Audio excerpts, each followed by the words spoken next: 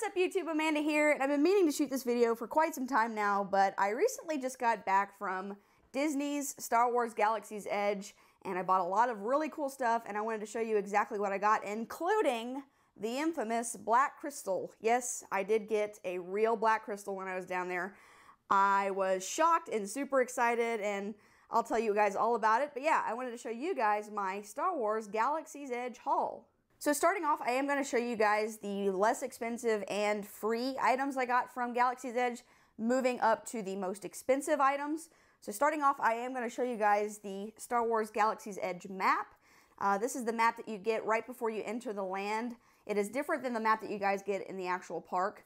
But yeah, it's a really nice quality map, and it shows you pretty much all of just the Star Wars Galaxy's Edge stuff, and it also has that really cool uh, Aurebesh language in there. It's actually a nice quality map, so if you wanted to hang it up or display it, you could absolutely do so. I figured, why not take one? They look really cool. But yeah, there is the Star Wars Galaxy's Edge map. Next up, if you are lucky enough to go to Oga's Cantina, it's always the most busiest attraction there. Uh, I got a set of the Oga's Cantina coasters. So for those who don't know, you do get a regular coaster when you are at Oga's Cantina. There are five variants though. Uh, and if you're really nice to your bartender, my bartender's name was Amanda too. Uh, she gave me all five variants of the coasters. So I will show you each one of those. So there's the first one. Very cool. Here is the second one. And again, the back's the same, but that's the second one. Third one, which is very, this is a very cool design, I think. There you go. Fourth one. And the last one, which is that. Yeah, I love these. I actually plan on making these as like real coasters. I may put them on some wood and then polyurethane it so they can actually be like functioning coasters. So yeah, very cool. Uh, just another cool uh, item that you can get pretty much for free if you're able to go to Oga's Cantina. Just be nice to your bartender and they'll hook you up. All right, so the next item is technically free if you're planning on spending at least $100 at Galaxy's Edge or Disney in general.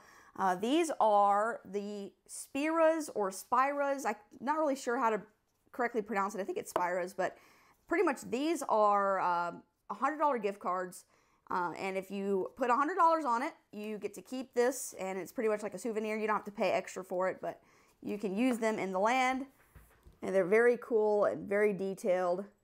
So I actually ended up purchasing two of them because I knew I would spend at least $200. But yeah, you load 100 bucks on this, and after that, you get to keep this. So it's pretty much a free souvenir after that, and you can reload them and use them all around Disney. Uh, but I will give you one little just tidbit of advice.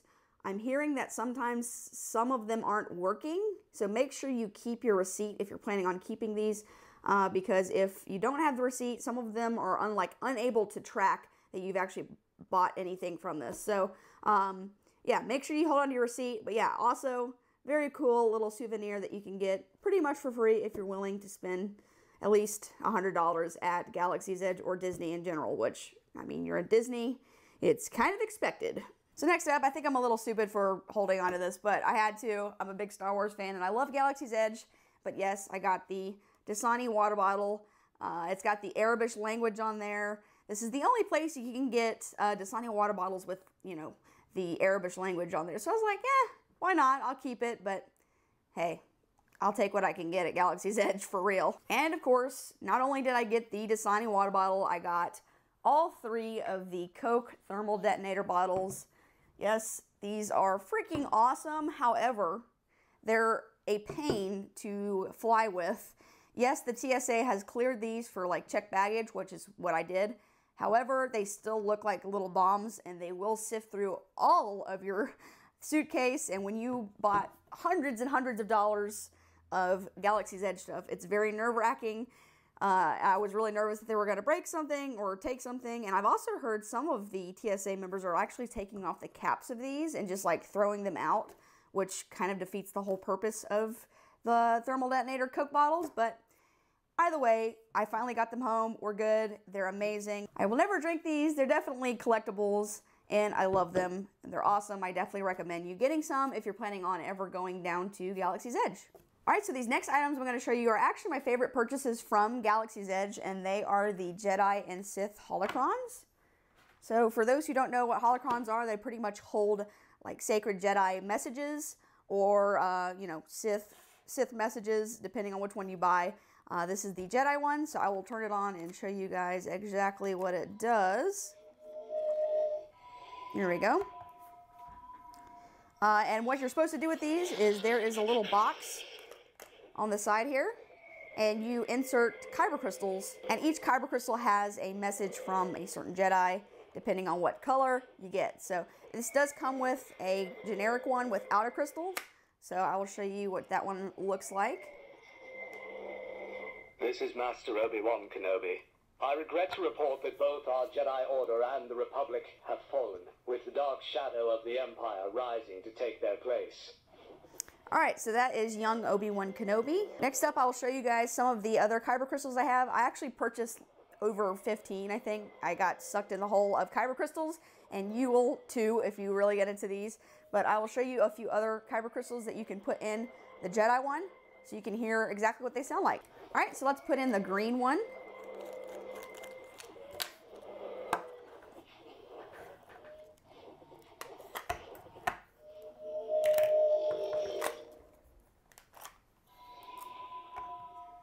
And now it is green.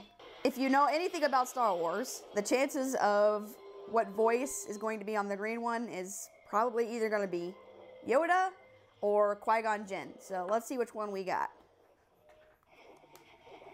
Train yourself to let go of everything you fear to lose. So we get some wise words from Yoda. Uh, I luckily didn't get very many duplicates. I think I got maybe two duplicates uh, out of 15 is really not that bad. So uh, let me show you another one. So obviously purple is probably going to be uh, Mace Windu here. So pop in the purple. And as you can see, kind of, it's bright in here. I'll turn off the lights and show you guys a close-up of what they look like. But here is the purple one. In negotiations, there are gray areas. In war, there are not. A warrior can't afford them. There's only right and wrong, good and evil, light and dark, and victory or defeat. So yeah, we got Mace Windu here. Uh, we'll do one more really quick. This is the Jedi Temple Guard.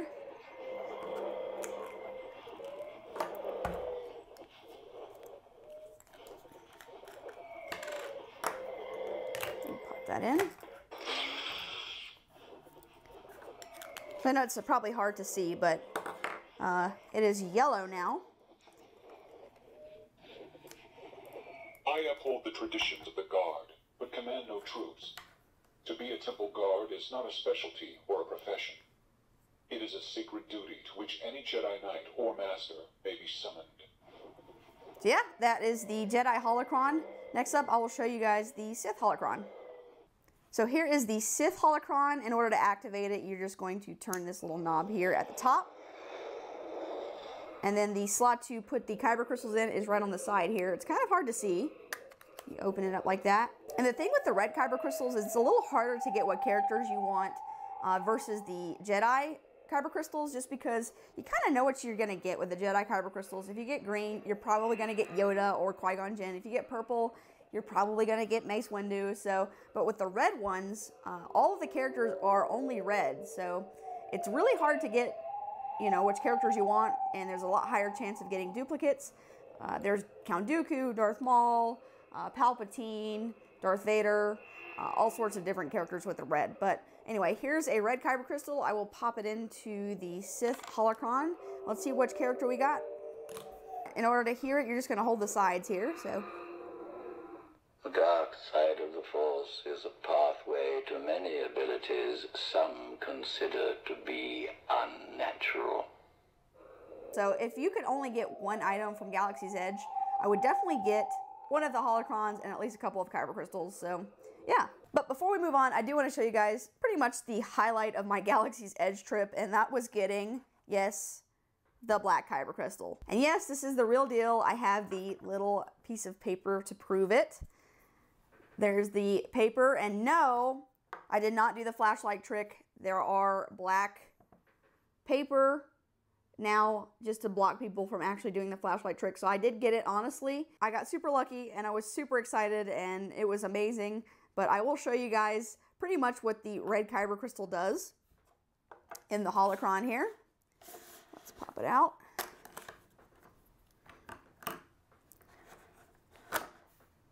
Put this one away. And let me turn on the black kyber crystal.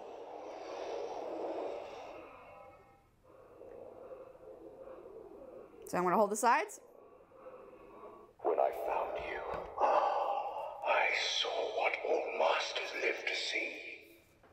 Raw, untamed power. And beyond that, something truly special. So yeah, we got Snoke from The Last Jedi. So yeah, the black kyber crystals are actually pretty rare. Uh, in fact, when I got mine, it was the first time the employees at Black Spire Outpost ever saw one. So I had an entire like crowd of people taking pictures of it. I was literally holding on to it with a death grip because I was scared somebody may take it. They were limiting the red kyber crystals to two per person just because everyone was buying up the kyber crystals trying to get the uh, black kyber crystal. So they stopped doing that. Uh, you're only allowed two per person. So luckily, uh, I got lucky and got one of the two as uh, the black kyber crystal. So very excited about it. I love it. Super cool. So the next thing I'm going to show you guys is a lot of fun to build. Uh, and they are a lot of fun to play around with in the actual land. But we've got, we have an R2 unit. Uh, I got the black body with the black legs and I purchased the um, little panels that you can get because I love orange. Orange is my favorite color. I actually haven't come up with a name for him yet, so I'm hoping in the comments below you guys will help me come up with a really creative name for him, but let me show you exactly how he works. So he does come with a remote control uh, when you're building your droid at the droid, the droid depot. Um, he's got a little button here at the bottom. All right, he's ready to go. I'm gonna go ahead and turn on my controller here on the back, and he should activate.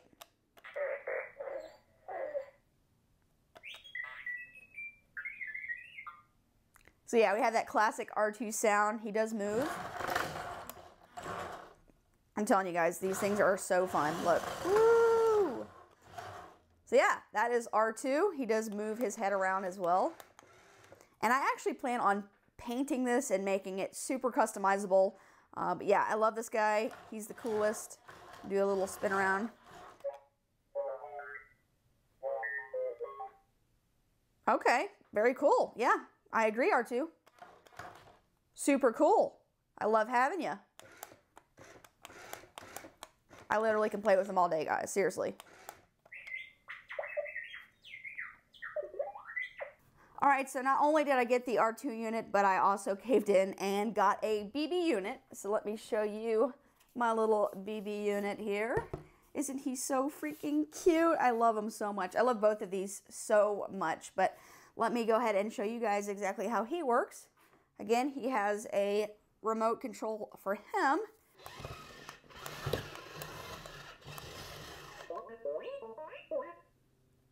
So he does move. I don't want him to fall though, so.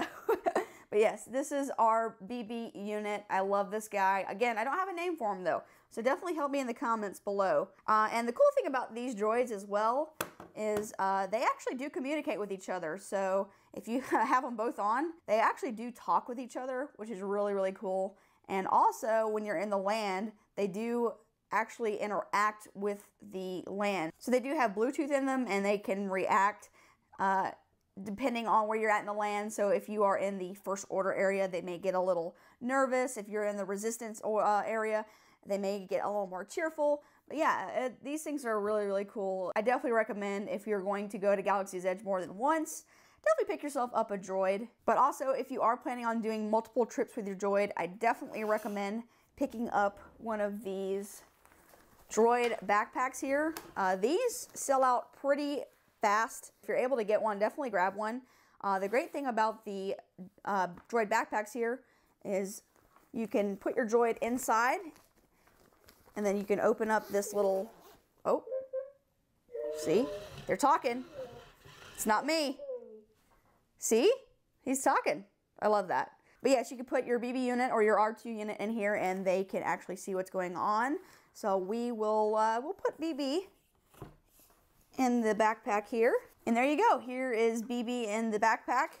You can see exactly what's going on. Now, one thing I do want to talk about, if you are planning on getting a BB unit down there and you want to get a droid backpack, there is a little leash in the back here. Let's see if you guys can see it, but it's right at the top and it's a little metal, leash and it actually connects to the back of BB-8's head. So there's a little part right here where the leash connects onto and you just hook it on. All right, so I got mine hooked on. I can put BB-8's head back on. Uh, and definitely, definitely do that. I did see my BB unit uh, head move around a lot when you're moving around in the park. Uh, and that's there so you don't actually lose the head. I bet there's going to be some really unhappy kids when they get home and they find that their BB unit is not all there because his head is gone. So definitely use that leash when you're walking around the park. We have here some of the personality chips. So these can actually go into the unit and it will change their personality. So I have a smuggler's chip here. It's purple. Uh, I've got a first order chip, make them a bad guy, right here. And then I also have a resistance chip, and it is the blue chip. So I'll put in the first order chip into the R unit here. Put that over there, and he has a little door here that opens up. It's on the front here. Let's see if I can do this. Open that up, and then you insert the chip like this. And now he is a first order droid. So let's go ahead and give it a listen to see what he sounds like now.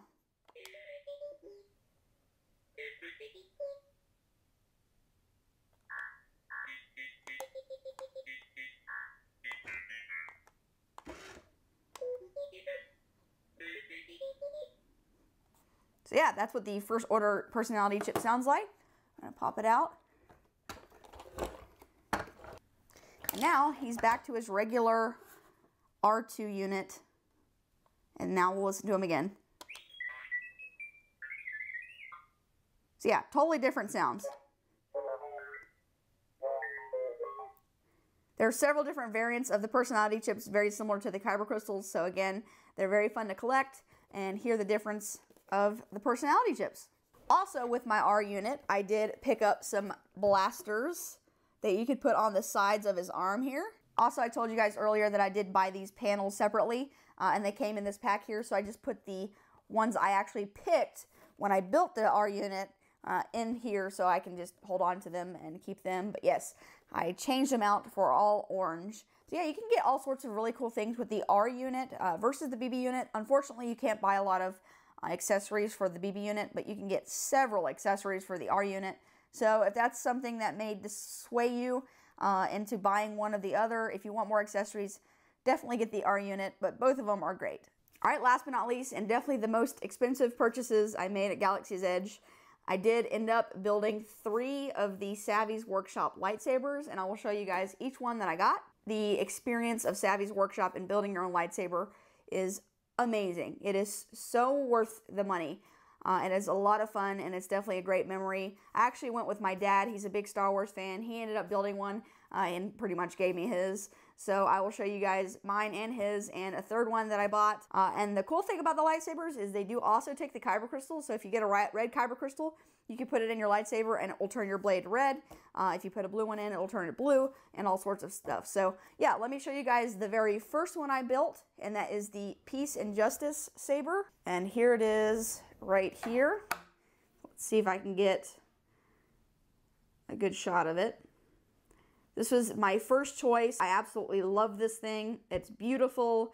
Uh, it's very, very heavy, so be careful. Definitely just don't walk around with it uh, in the park. You know, you may break it or break someone. Um, if you accidentally drop this, they do come with a saber sheath at the end of the building experience. But yeah, so in order to uh, put the kyber crystal in, you unscrew it here. And I think there's one already in there, but yeah. So we have a green kyber crystal in there. Just pop that back in.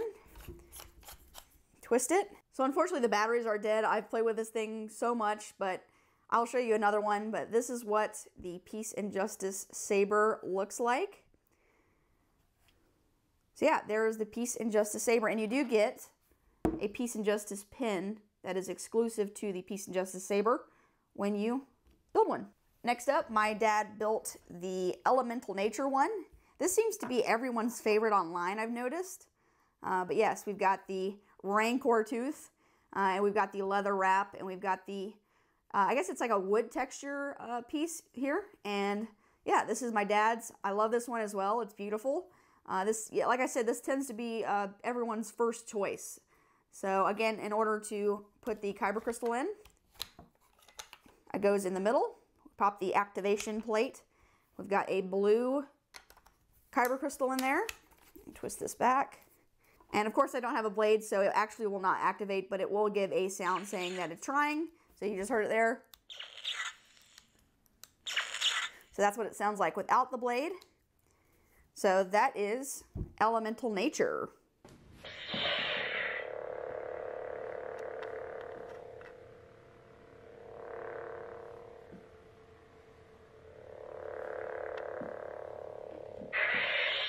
All right, so my last saber I built was the Protection and Defense. So fun fact, I actually did not like the design when I saw this before online of other people buying it uh, before I went. And then when I actually saw it in person, it's definitely tied with my favorite. Uh, it's, again, very, very heavy. And this seems to be people's second favorite. Um, so yeah, this is the Protection and Defense. Again, you do get a little Protection and Defense pin here. But I will pop in a blade so you guys can actually see what it looks like. So here is the blade. All right, in order to actually insert the blade, there are two little grooves. What you do is insert it, you'll hear a noise, and then twist, and it's in. So I'll go ahead and activate it.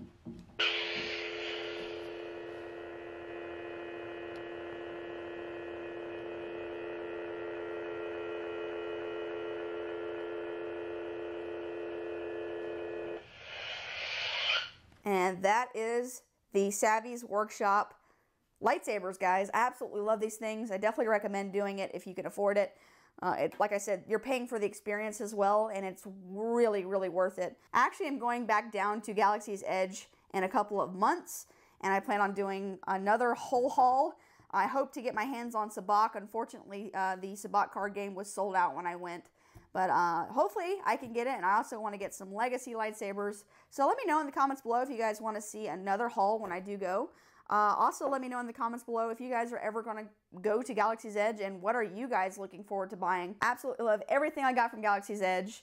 I will be paying off this trip for quite some time, but it was well worth it. Uh, and yeah, so that is it for this video, guys. Please give it a thumbs up and subscribe. Also, don't forget to hit that notification bell so you guys get an alarm every time I make a new video, and I'll catch you guys in the next one.